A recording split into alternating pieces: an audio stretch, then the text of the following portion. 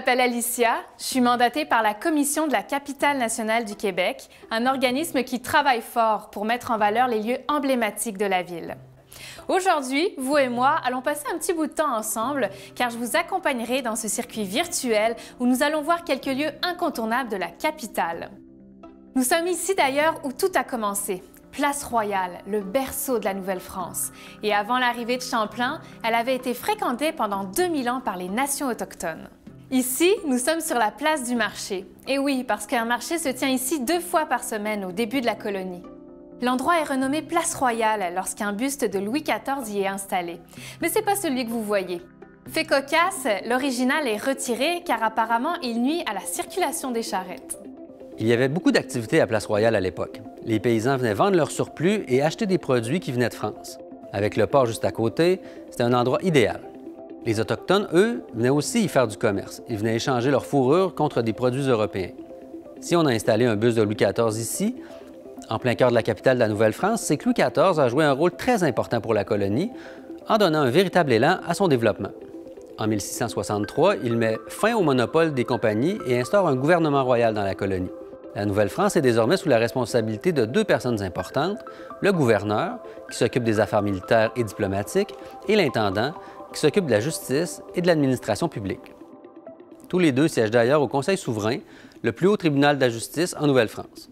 Quelques mots sur l'église que vous voyez ici, l'église Notre-Dame des Victoires, construite en 1687. C'est l'une des plus anciennes églises au nord du Mexique. Et pourquoi Notre-Dame des Victoires Y en a-t-il plusieurs? Eh bien oui. À sa construction, elle était dédiée à l'enfant Jésus. Rebaptisée Église Notre-Dame de la Victoire après que Québec ait résisté à l'envahisseur Phipps en 1690, elle devient l'église Notre-Dame des Victoires après qu'un autre envahisseur soit repoussé, l'amiral Walker en 1711. Avant sa construction, sur cet emplacement se trouvait la seconde habitation de Champlain en 1624. Voyez le marquage ici.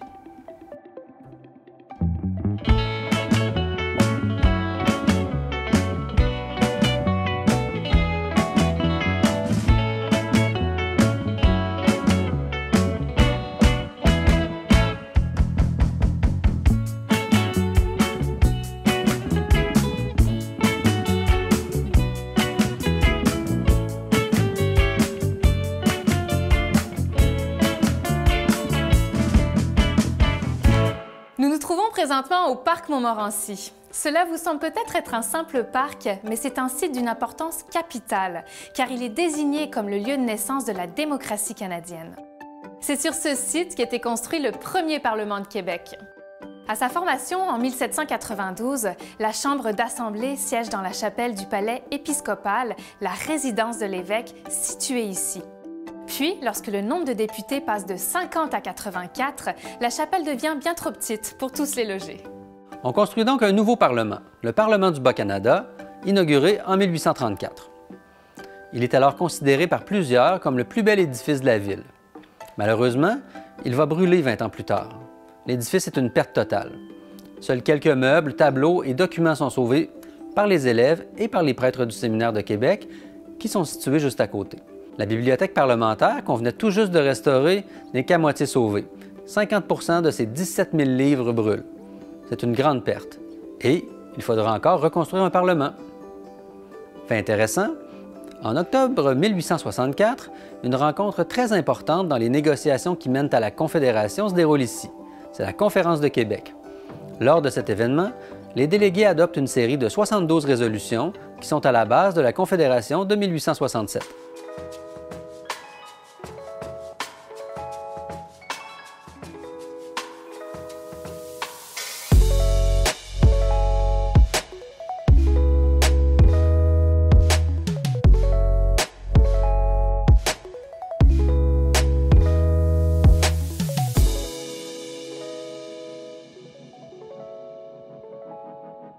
Nous sommes à la place de l'Hôtel de Ville, au centre de trois institutions très importantes au temps de la Nouvelle-France.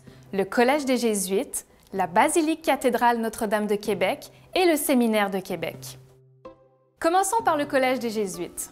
Les Jésuites fondent la première école pour garçons de la colonie en 1634, à l'endroit où se trouve actuellement l'Hôtel de Ville de Québec.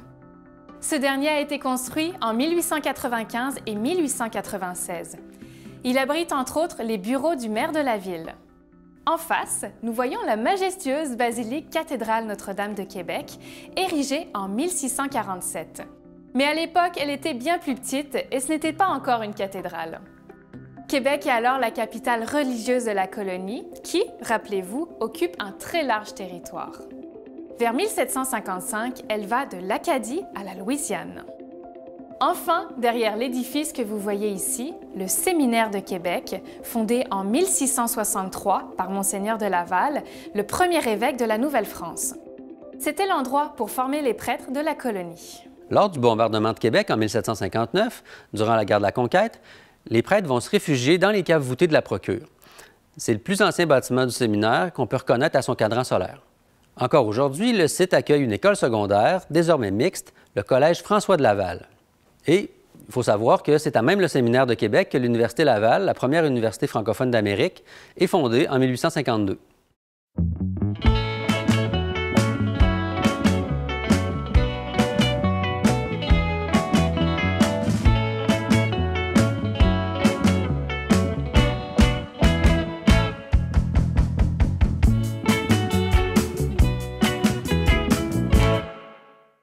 Sommes devant l'un des symboles prestigieux de la capitale aujourd'hui, le Château Frontenac.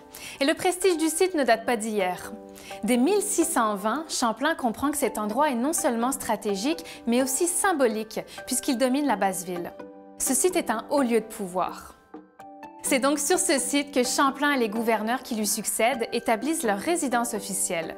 Toutes les décisions concernant la guerre ou la paix dans la colonie y sont prises et c'est ici que les chefs autochtones viennent discuter avec le gouverneur. Voici des vestiges des forts et châteaux Saint-Louis qui se sont succédés sur ce site durant le régime français. Champlain y a fait construire deux forts successifs, tous deux en bois, protégés par la falaise, un rempart et des canons. Mais c'est le gouverneur Frontenac qui en a fait un château plus luxueux. Représentant du roi dans la colonie, Frontenac souhaite bénéficier d'une résidence plus spacieuse et élégante, d'un château digne de sa fonction. L'élite de la colonie se presse donc au nouveau château pour assister aux bals, aux réceptions et aux autres activités sociales offertes par le gouverneur. Voici un récit de Nicolas Gaspard Boisseau qui raconte être allé à un bal au Château Saint-Louis en 1787. Le 18 janvier, je résolus de sortir un peu de mon île d'Orléans, malgré un froid de moins 25 degrés et deux pieds de neige dans le chemin pour aller voir le bal de la reine. Je m'y rendis donc à 6h30 du soir. Le bal s'ouvrait. Le château était rempli d'officiers majors et subalternes et de connétables de la ville. Les dames y étaient en assez grand nombre et formaient un beau coup d'œil. On commença le bal par des menuets au son d'une très belle musique. Il y avait d'heure en heure plusieurs domestiques qui offraient à tout le monde des rafraîchissements. C'était du bon vin de Madère avec de l'eau chaude et du sucre et quantité de bonbons. Le souper est très curieux à voir. Tout y est artistiquement arrangé. L'on voit avec plaisir s'élever quantité de pyramides de fruits. Le souper dura une heure et demie, à la fin duquel les plus belles voix des principales dames furent entendues. Le lord se leva ensuite de table, se retira, ce qui n'empêcha pas le bal de se continuer jusqu'à 5 heures du matin. Invitant, n'est-ce pas? Le château Frontenac, tel que vous le voyez, date de plus tard, de la fin du 19e siècle, plus précisément en 1893. C'est un hôtel de luxe, probablement l'édifice le plus photographié du Canada, qui n'a jamais servi de résidence officielle aux autorités gouvernementales.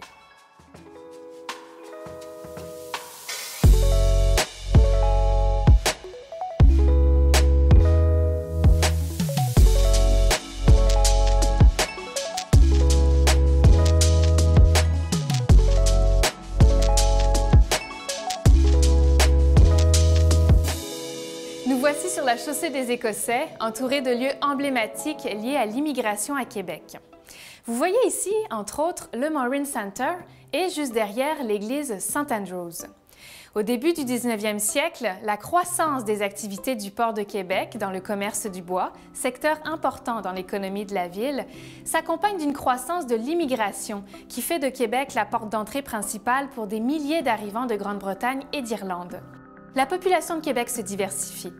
L'immigration dans la ville permettra entre autres l'essor de Québec et l'enrichissement de sa culture. Regardons d'abord le Morin Center. Il a logé la première prison de Québec entre 1812 et 1867.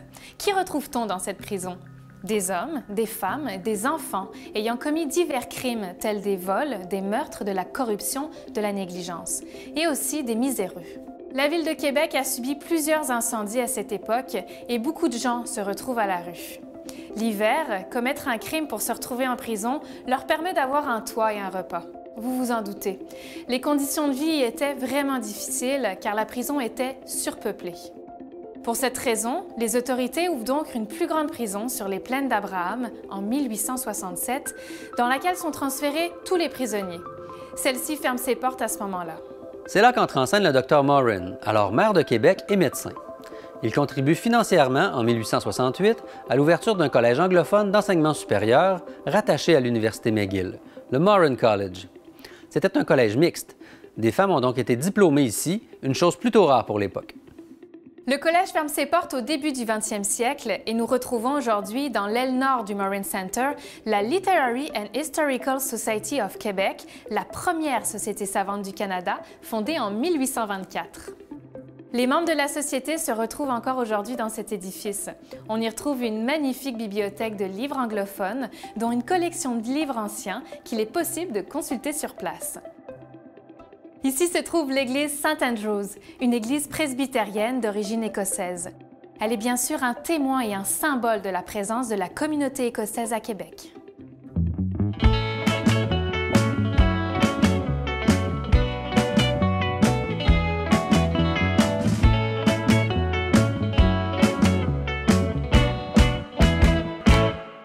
Sommes maintenant devant le rempart ouest de la ville de Québec, un autre lieu très emblématique de la capitale.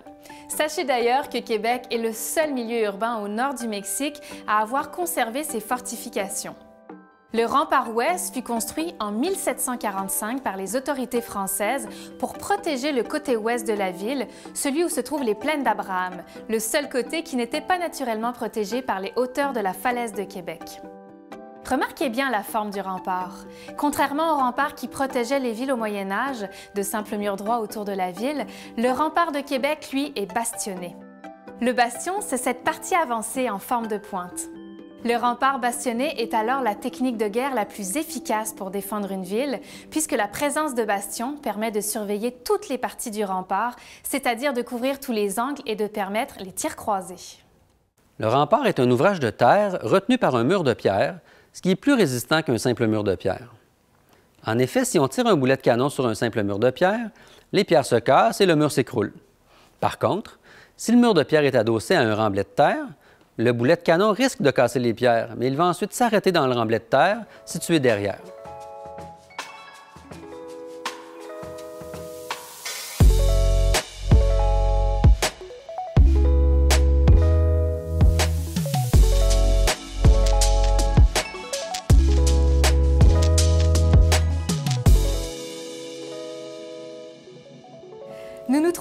Devant le majestueux hôtel du Parlement, ou plus simplement le Parlement, le symbole par excellence de l'État québécois.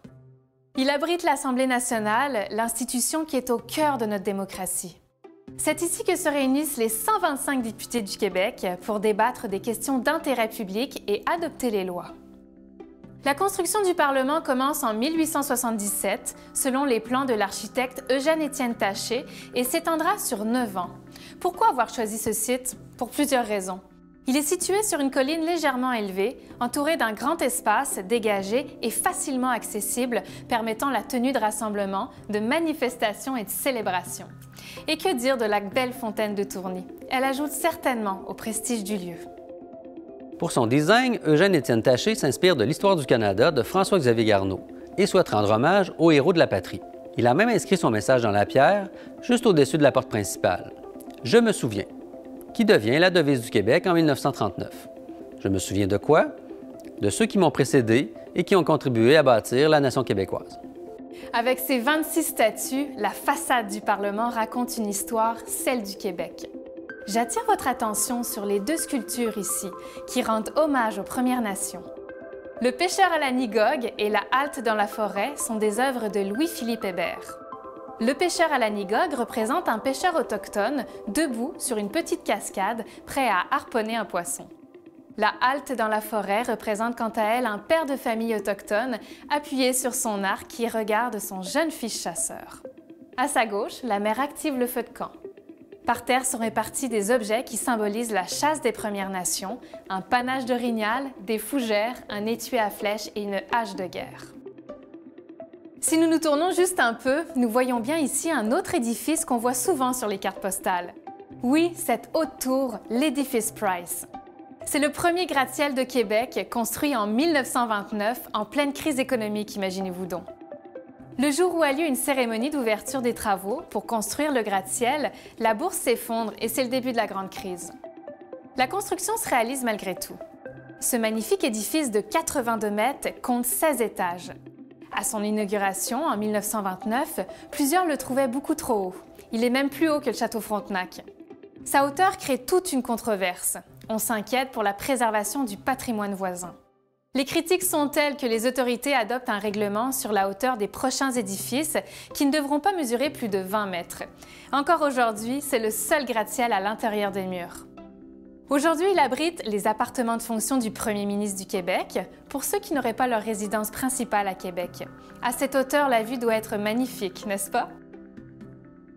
Voilà, au nom de la Commission de la capitale nationale du Québec, j'espère que tu as apprécié cette petite visite de Québec avec moi. Si tu as aimé ou que tu as des questions, n'hésite pas à en parler à ton professeur et à venir visiter ta capitale.